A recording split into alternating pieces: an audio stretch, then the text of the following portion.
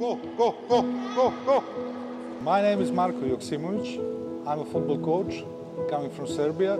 I came to Jiujiang 10 months ago. For me, it was a really good experience. Jiujiang, wonderful city. People are good, warm. Every person I met here in school, they showed me love I was uh, feeling welcome.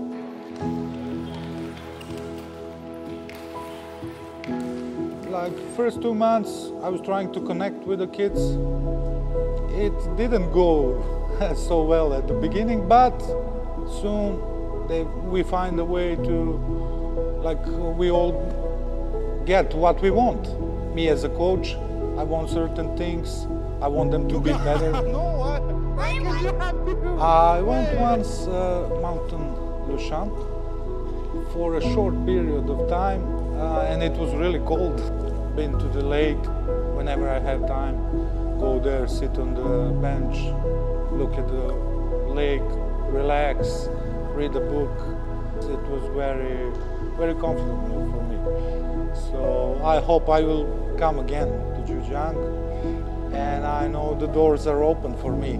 That's my biggest reward.